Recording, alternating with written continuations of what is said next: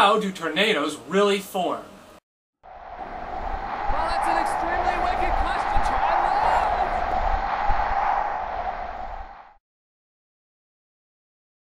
You will need two water bottles, some tape, and some water.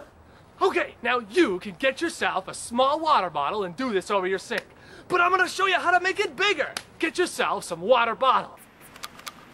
No, no, not, not, not a tiny water bottle. I'm talking about those massively huge big water bottles. Okay, get yourself one of these huge, massively huge water bottles. Uh, if you don't know where to get them, just, just head down to your local office place. It's amazing what you can get when you have the right ID. okay, you're gonna take this and you're gonna fill it with water. I'm gonna grab a hose.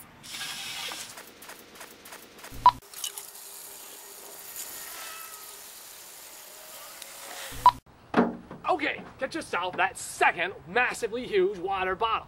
And you're gonna pop it on top, just like this. Then you're gonna get yourself some tape and you're gonna wrap it around, sealing the water in. Here we go!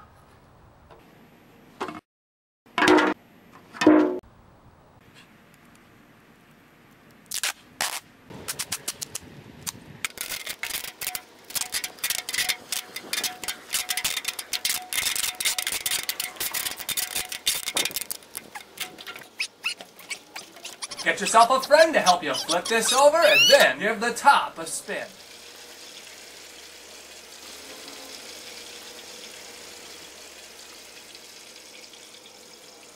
That is so cool. It's like the coolest, wicked coolest thing. It's like the old-fashioned water bottle trick. It's just, it's like a larger size and it's just, and it works and it's, it's like the coolest thing. Oh, it's like so cool. How do real tornadoes work? Well, don't look at me. Take a closer look at this. A tornado is an extreme rotating cloud column that extends from a thunderstorm that makes contact with the earth. Many tornadoes, including the strongest ones, develop from a special type of thunderstorm known as a supercell. These supercells form when cold dry air comes in contact with warm moist air from the equator. Cold air is forced down quickly, creating an updraft of warm moist air. Winds in a thunderstorm from different directions cause air to spin. When this rotating updraft interacts with a rotating column of air, it causes the column to bend. A current of cool air moves downward at the back of the storm, known as a downdraft. The speed of the downdraft increases and air plunges to the ground where it fans out at speeds that can exceed 160 kilometers an hour. The U.S. has the highest number of tornadoes in the world, averaging about 800 per year, and Australia ranks second in tornado frequency. So now you know how tornadoes form. You know, making a large version of a water bottle tornado is why science